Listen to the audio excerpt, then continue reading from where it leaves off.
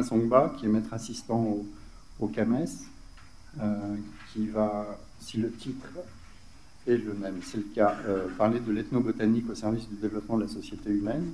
Donc, euh, dans cette dimension qu'on a déjà évoquée ce, matin, à savoir l'intégration et la prise en compte de ces, de ces savoirs dans, les, dans, dans, la santé. Merci, monsieur Jean. Oui, je, je me présente à nouveau, Faustin Ansamba, venu du Bénin ayant comme spécialité biologie végétale, maître assistant au CAMES, membre du PTR, médecine traditionnelle, que représente euh, la coordinatrice étant présente ici, le professeur Roukia. Aujourd'hui, j'ai l'intime commission de vous entretenir sur la terminologie ethnobotanique au service du développement de la société humaine. Euh, je fais partie, je suis de l'Université nationale des sciences technologie, ingénierie et mathématiques d'Abomey. De l'École nationale des biosciences et biotechnologies appliquées du Tessa. Voilà mes coordonnées, mon mail et mon numéro WhatsApp affiché.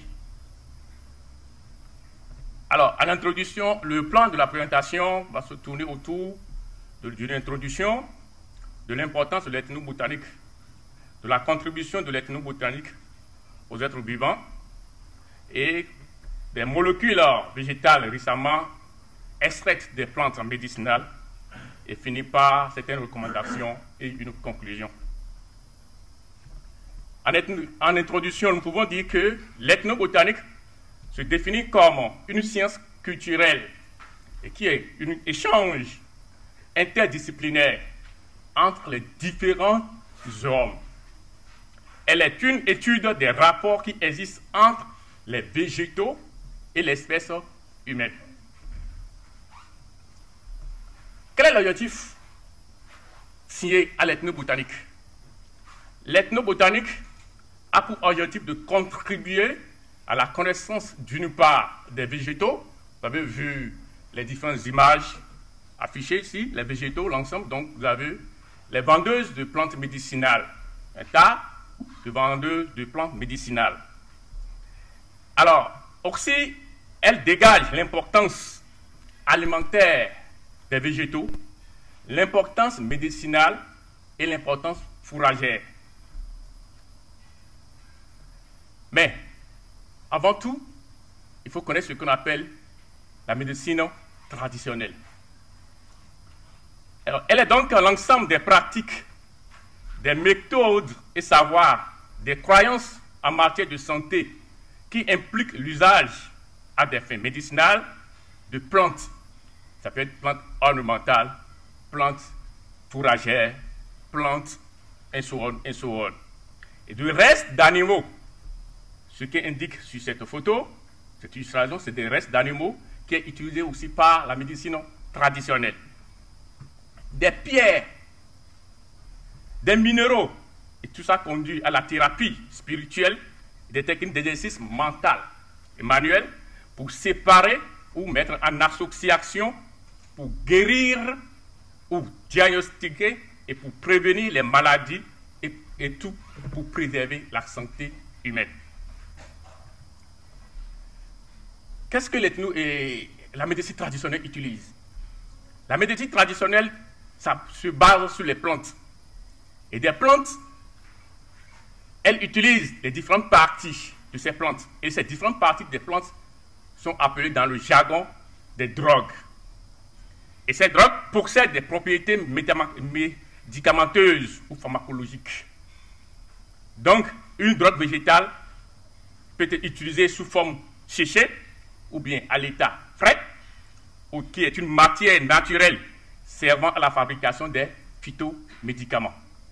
Vous avez ici une plante. La feuille qui est ici est une drogue qui est utilisée en médecine traditionnelle. Vous avez le fruit qui est utilisé. Alors ici, nous avons, sur cette image, nous avons les phytothérapeutes en exercice de fabrication des médicaments. La médecine traditionnelle qui est communément encore appelée la médecine naturelle, est la somme des connaissances, des compétences et pratiques qui reposent rationnellement ou non sur des théories, les croyances et les, et les expériences propres. C'est une culture qui, utilise beaucoup de connaissances pour maintenir les êtres humains en bonne santé, ainsi que pour prévenir, diagnostiquer, traiter et guérir des maladies physiques, mentales et spirituelles. Quelle est l'importance de l'ethnobotanique pour la société humaine? Alors, il faut dire que l'ensemble des produits pharmaceutiques utilisés ont une origine naturelle. Ils sont soit extraits directement d'espèces sauvages ou bien synthétisés à partir des molécules découvertes c'est les espèces. Par exemple, la digitaline, l'aspirine, la quinine, qu'on a parlé tout à l'heure le professeur Sanogo, sont des molécules extraites des plantes. Parmi les récentes découvertes, on pouvez mentionner deux alcaloïdes, la vincitanine et la vemblastine, présentes dans une espèce de prévenche de Madagascar qui ont la propriété de guérir certains cancers. Le professeur Sanogo en a parlé tout à l'heure. Nous avons une espèce phare, Xanthosylosites, qui est une plante qui contient une substance très prometteuse pour traiter la drépanocytose, surtout la forme SS. Alors, les fongiques des fongiques sont extraits des molécules. Tout récemment a été découvert la cycloporine provenant des champignons, qui est une espèce vraiment c'est un aliment. Et cela permet de faire la transformation d'organes les greffes humaines. Le tatou, qui est une espèce animale, vous voyez sur sa peau, ça a une peau de quelqu'un qui souffre de la lèpre. Et c'est de cette espèce, qui est un petit mammifère tropical, seuls des animaux pouvaient contacter la lèpre. Et c'est à partir de ça que le vaccin qu'on utilise contre la lèpre a été découvert. Bon nombre de plantes ont été étudiées en vue de faire des applications médicales très prometteuses. La médecine traditionnelle en connaît des milliers que la médecine moderne n'en connaît pas. D'où l'importance de connaître la médecine traditionnelle. Sinon, si on ne maîtrise pas la médecine traditionnelle, beaucoup d'espèces vont disparaître et l'homme va toujours continuer à courir, à souffrir beaucoup de maladies. Alors donc, la perte d'une plante est donc une perte pour la nation. C'est une perte pour la possibilité de découvrir de nouveaux médicaments. Quelle est la contribution de l'ethno-botanique au bien-être de la société? Alors, nous avons beaucoup de plantes dans notre environnement que nous pouvons utiliser pour guérir beaucoup de maladies. On prend par exemple corosol sauvage, complètement appelé, dont le nom scientifique est Anona senegalensis. Cette plante est utilisée lorsque quelqu'un la morsure du serpent. Il suffit de prendre la racine de cette plante, de donner quelqu'un à la personne qui a été morsue par le serpent et qu'il machote et qu'il avale la, la cellule. Cela permet d'empêcher la remontée du venin. Nous avons Benonia colorata, communément appelée en langue béninoise amavivet, qui est consommée par les Béninois. C'est une plante vraiment médicinale. Donc, il suffit de, la préparer sans en ajouter de la potasse. Et là, vous avez de l'énergie. vous avez, par exemple, euh, euh Sarcocéphalus latifolia, anciennement appelé Nuclea latifolia. De cette espèce, tramadol est extrait. Et tout le monde connaît le rôle joué par le tramadol. La racine de cette espèce est fortement utilisée en médecine traditionnelle pour guérir plusieurs maladies. Avec l'avènement de la pandémie à Covid-19, le professeur Sanogo en a dit tout à l'heure, les États africains se sont sortis l'utilisation de la médecine traditionnelle. Au Bénin, plusieurs phytomédicaments ont été fabriqués, mis à jour. pour lutter contre la COVID-19. Je vais en citer simplement la Covicine, qui a été fabriquée par des phytothérapeutes béninois, utilisée. Mais malheureusement, l'État béninois a demandé au chef de la médecine traditionnelle d'en faire une gamme, mais n'a pas pu accompagner la médecine traditionnelle, les phytothérapeutes, pour la mise en jour de ces différents produits sur le marché. Et même plus de 100 phytomédicaments ont été enregistrés, mais jusqu'aujourd'hui, rien n'est fait pour la mise en valeur de ces phytomédicaments contre la COVID-19. C'est là le point essentiel. Est-ce que les Africains, que nous y sommes, nous voulons nous développer Il faut que nous revenions à l'endogénéité, notre savoir endogène, notre savoir ancestral. Tout est là. Si le développement africain doit partir, l'Afrique doit faire recours à, à ces savoirs endogènes. Sinon, le développement tamponné par l'Occident pour l'Afrique aura toujours de problèmes. La Chine s'est développée à partir de cette connaissance endogène. Mais pourquoi pas nous, Africains Nous devons prendre conscience de l'utilisation de nos valeurs ancestrales. Vous avez un produit dermatologique, savon miracle, fabriqué par les phytothérapeutes béninois. Mais aujourd'hui, quand on va proposer ça à un Africain, il va refuser. Parce que tout ce qui vient de l'Occident est meilleur par rapport à tout ce qui est sous-sol africain. La médecine traditionnelle béninoise s'est inventée effectivement. Nous avons beaucoup de produits fabriqués jusqu'à l'étape des sirops qui est utilisé contre le paludisme. Est-ce que les, Occidentaux souffrent du palud? Non, c'est les Africains. Il faut que nous utilisions nos phytomédicaments pour notre, le traitement du paludisme. La médecine traditionnelle s'est basée sur les plantes. Aujourd'hui, au lieu d'aller investir dans l'achat des caméras pour sauvegarder nos maisons, les, les, les tradis praticiens béninois ont inventé une bague qui a fait séjourner euh, pendant 7 jours ou 9, mois, 9 euh, jours sous les racines des plantes. Et il suffit de, de placer cette bague dans votre maison. Aucun voleur ne peut venir voler quelque chose dans votre maison. Ça s'appelle communément adjutant camabla, c'est-à-dire le voleur qui n'a pas été attaché par une corde. Il suffit qu'il prenne un objet, quand la bague est dans votre maison, il vient prendre un objet là, il va rester là jusqu'à ce que le propriétaire de la maison arrive. Tant que le, propriétaire de la maison ne lui parle pas, il ne va pas se retrouver. Est-ce que nous allons encore investir beaucoup d'argent dans l'achat des caméras pour surveiller nos maisons? Non. La médecine traditionnelle est là pour nous accompagner. Tout ce que nous avons, il faut valoriser. Et ça, ça a été fabriqué par deux phytothérapeutes béninois.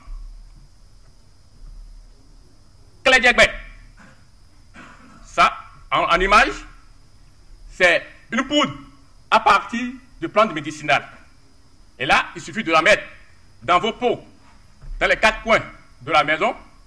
Aucun, aucun oiseau volant ne pourra plus surmonter votre maison. Et aucun missile, que ce soit air-air ou soit sol-sol, ne peut vous attaquer. Cela permet de lutter contre la sorcellerie le professeur Sanango en a parlé. La sorcellerie. L'Afrique a les moyens pour lutter contre la sorcellerie. Vita, Vita c'est un produit phytomédicament qui a un AM aujourd'hui qui permet de lutter contre l'anémie. Ça, c'est un produit, c'est à partir de la médecine traditionnelle, à partir des plantes médicinales et aromatiques que ce produit a été fabriqué. Vous allez dans les officines béninoises aujourd'hui, vous allez retrouver Vita Iran. Nous avons travaillé avec ce phytothérapeute jusqu'à ce qu'il ait l'AM. Et ça lutte efficacement contre l'anémie. Nous avons plusieurs plantes qui sont aujourd'hui, vues sur le plan scientifique, qui luttent efficacement contre plusieurs maladies. Alors, à partir de ça, des produits phytomédicaments ont été fabriqués, tels que le crème contre la dermatose à base de, de l'écorce de Kaya sénégalensis. Il faut dire qu'au Bénin, la poudre de l'écorce de, de Kaya selingalensis est vendue aujourd'hui dans les officines au Bénin. Donc, Kaya selingalensis est une plante médicinale hautement scientifique. Nous avons des capsules ont été fabriquées à partir de Morinda lucida pour lutter contre le diabète. Et là, c'est des, phytothérapeutes, des praticiens de la médecine traditionnelle qui en ont fabriqué. Et aujourd'hui, cette plante que vous voyez en image, là, Morinda lucida, est valorisée fortement au Bénin. Est-ce qu'il faut aller chercher de l'insuline pour le diabète Il faut qu'on utilise cette plante. Nous avons Coco nous suffira. À partir, de ça, a été fait une dentifrice, une pâte dentifrice pour lutter contre les, les infections bucco-dentaires. Cette plante existe un peu partout le long de, euh, de la côte béninoise. Alors, nous avons aussi des crèmes, des sirops, vermifuges, qui ont été fabriqués à partir de nos plantes béninoises. Pour le développement galénique, la préparation, la conservation, la standardisation des médicaments qui ont conduit à l'amélioration des MTA aujourd'hui. Donc, à partir des formes des mises en forme en sachet, nous sommes venus à des mises en forme peu améliorées et nous sommes venus maintenant à la fabrication des sirops et puis dans des plastiques. Et aujourd'hui, on est à l'étape des, des sirops améliorés au Bénin. Alors, quelles sont les, les molécules végétales récemment commercialisées, extraites des plantes par la médecine moderne aujourd'hui Nous avons Catalonus roselis, pervenche de Madagascar, et dans la molécule, le nom commercial est 20 ou lèvre, qui est commercialisé aujourd'hui pour guérir les cancers. Nous avons Santella asiatica, qui permet euh, une molécule de, du, nom madécazole commercialisé pour lutter contre toutes les formes, pour cicatriser les plaies. Nous avons l'espèce phare, Artemisia annua, pendant la pandémie Covid-19, qui a fait le tour de cette plante. Beaucoup de molécules ont été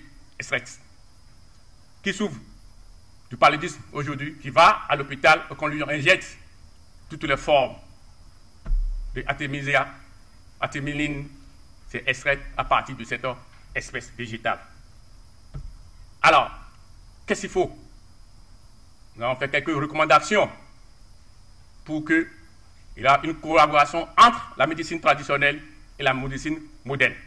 Ainsi, il faut mettre en place un comité scientifique pluridisciplinaire pour appuyer techniquement à l'uniquité des produits à base des plantes.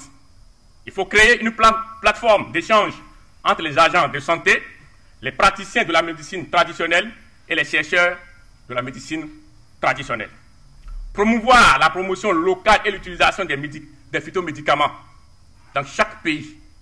Il faut appuyer la promotion des cultures à visée thérapeutique la protection de nos plantes médicinales et aromatiques. Pour finir, nous pouvons dire que toutes les formes de vie doivent être préservées comme un patrimoine essentiel de l'humanité.